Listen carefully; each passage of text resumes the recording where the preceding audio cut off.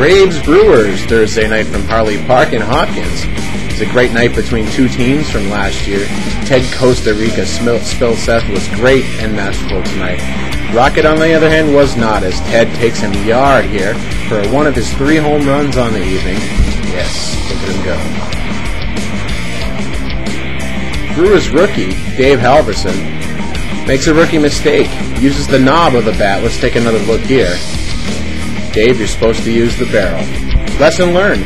Ted, on the other hand, when he wasn't working the corners, was striking people out and pissing people off. Arrgh! Look at Sanchez.